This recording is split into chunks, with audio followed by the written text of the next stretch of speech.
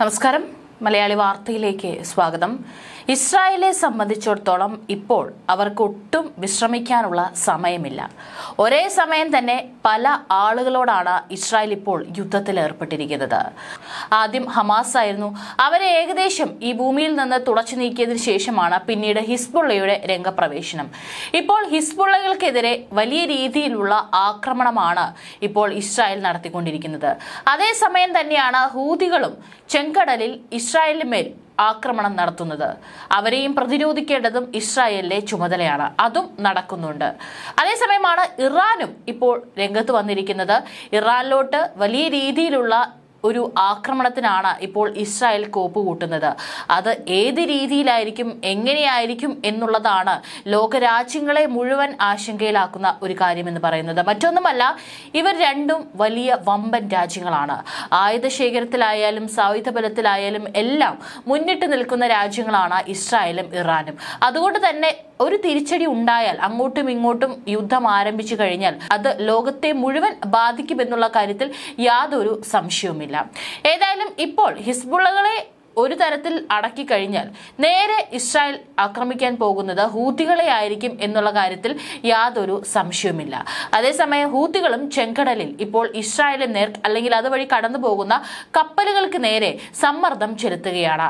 ഇപ്പോൾ ചെങ്കടലിൽ ആക്രമണം കടുപ്പിക്കുമെന്ന ഭീഷണിയുമായിട്ടാണ് യമനിലെ ഹൂത്തി വിമതർ രംഗത്ത് വരുന്നത്. ഇതിനു മുൻപും അവർ വലിയ രീതിയിൽ തന്നെ ചെങ്കടലിൽ ആക്രമണം നടത്തിയിട്ടുണ്ടായിരുന്നു. അപ്പോഴെല്ലാം തന്നെ പ്രതിരോധിക്കാനും ഇസ്രായേൽ മുൻപിലുണ്ടായിരുന്നു. ഇപ്പോൾ വീണ്ടും ആക്രമണം കടുപ്പിക്കുമെന്ന ഭീഷണിയാണ് ഹൂത്തി വിമതർ ഉയർത്തുന്നത്. ചെങ്കടൽ വഴി ചരക്കു ഗതാഗതം തുടർന്നാൽ ആക്രമണം നടത്തുമെന്ന മുന്നറിയിപ്പാണ് ഹൂത്തി വിമതർ നൽകിയിരിക്കുന്നത്. ഇത് സംബന്ധിച്ച് കപ്പൽ ഉടമകൾക്ക് ഹൂത്തികൾ അയച്ച ഇമെയിൽ സന്ദേശവും പുറത്തു വന്നിട്ടുണ്ട്. ഹമാസിന് ഐക്യദാർഢ്യം പ്രഖ്യാപിച്ചുകൊണ്ടാണ് ഹൂത്തികൾ ചെങ്കടൽ വഴി കടന്നുപോകുന്ന കപ്പലുകൾക്ക് നേരെ ആക്രമണം നടത്തി വന്നിരുന്നത്. നവംബർ മുതൽ നൂറോളം ആക്രമണങ്ങൾ ഹൂത്തികൾ നടത്തിയിട്ടുണ്ടെന്നാണ് കണക്ക്. നാല് നാവികരെ കൊലപ്പെടുത്തുകയും ചെയ്തു. തുടർന്ന് യൂറോപ്യൻ യൂണിയന്റെ ആസ്പെസറ്റ് സേനാ മേഖലയിലൂടെ ഇരുന്നൂറോളം കപ്പലുകളെ സുരക്ഷിതമായി കടന്നുപോകാൻ സഹായിച്ചിരുന്നു. മുഴുവൻ കപ്പലുകൾക്ക് മുന്നറിയിപ്പ് നൽകാനുള്ള ഹൂത്തികളുടെ തീരുമാനം ചെങ്കടലിലെ ആക്രമണത്തിന്റെ നാലാം ഘട്ടത്തിന് തുടക്കമിട്ടതിന്റെ സൂചനയാണെന്നും ആസ്പെസറ്റ് ചൂണ്ടിക്കാണിക്കുന്നു.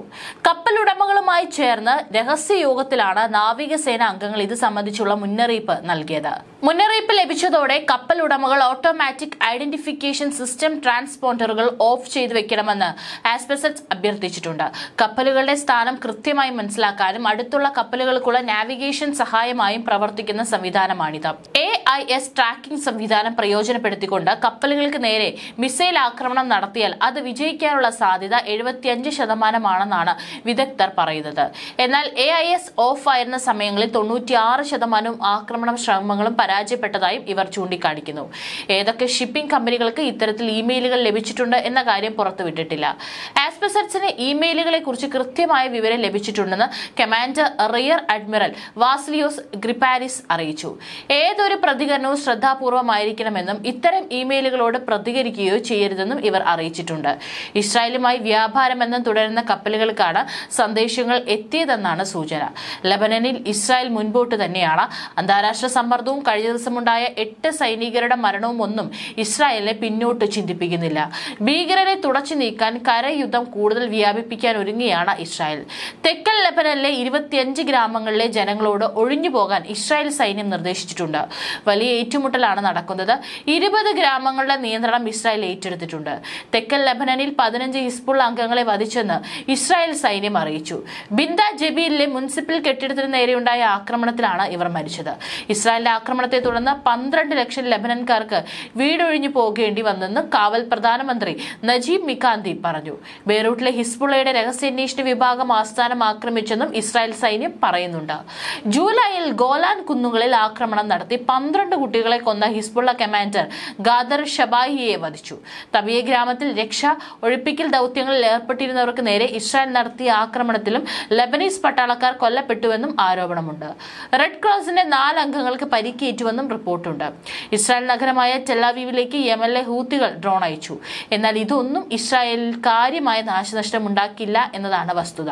ലബനാനിൽ കരയാക്രമണം തുടങ്ങി രണ്ടാം ദിനമായ ബുധനാഴ്ച ഇസ്രായേലിലെ എട്ട് സൈനികർ കൊല്ലപ്പെട്ടതിന് തിരിച്ചടിയായാണ് ആക്രമണം ശക്തമാക്കിയത്. ഇതിനിടെ ലബനനിൽ ഇസ്രായേൽ നടത്തുന്ന ആക്രമണം അവസാനിപ്പിക്കാൻ ഗൗരവമായ വെടിനിർത്തൽ ശ്രമങ്ങൾ വേണമെന്ന് Qatar emir Sheikh Tamim bin Ahmed Al Thani ആഹ്വാനം ചെയ്തു.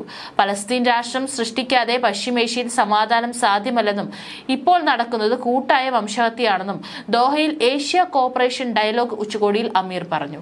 എന്നാൽ ഇതൊന്നും തൽക്കാലം ഇസ്രായേൽ മുഖവിലക്കെടുക്കില്ല രണ്ടായിരത്തി ഇരുപത്തി മൂന്ന് ഒക്ടോബർ എട്ടിന് ആരംഭിച്ച ഹിസ്ബുള്ള ഇസ്രായേൽ സംഘർഷത്തിൽ മരിച്ചവരുടെ എണ്ണം ആയിരത്തി തൊള്ളായിരം കടന്നു. ഒമ്പതിനായിരത്തിലേറെ പേർക്ക് പരിക്കേറ്റു.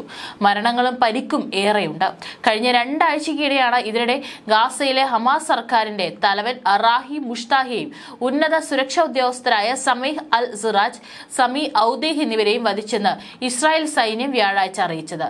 വടക്കൻ ഗാസയിലെ ഭൂഗർഭ അറയിൽ ഒളിച്ചു കഴിയുമ്പോഴാണ് ഇവരെ ഇല്ലാതാക്കിയതെന്നും സൈന്യം അറിയിച്ചു. ഒരേസമയം ലബനനിലും ഗാസയിലും ആക്രമണം നടത്തുകയാണ് ഇസ്രായേൽ. അത് തുടരുമെന്ന സന്ദേശം തന്നെയാണ് അവർ നൽകുന്നതെന്നും. ഹമാസിന്റെ രാഷ്ട്രീയകാര്യ തലവൻ യഹിയ സിൻവറുമായി ഏറ്റവും അടുപ്പമുള്ള ആളാണ് മുഷ്താഹ. ഒക്ടോബർ ഏഴിന് ഇസ്രായേലിൽ കടന്നു കയറി ഹമാസ് നടത്തിയ ആക്രമണത്തിന്റെ ആസൂത്രകിൽ ഒരാളാണ് സിൻവർ. ഇനി ഹമാസുകാരെ ഇസ്രായേൽ ആക്രമിക്കാൻ പദ്ധതിയിടുന്നുണ്ട്.